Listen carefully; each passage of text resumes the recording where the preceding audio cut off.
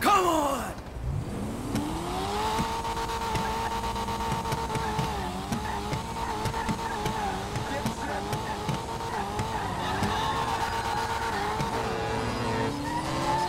Ha!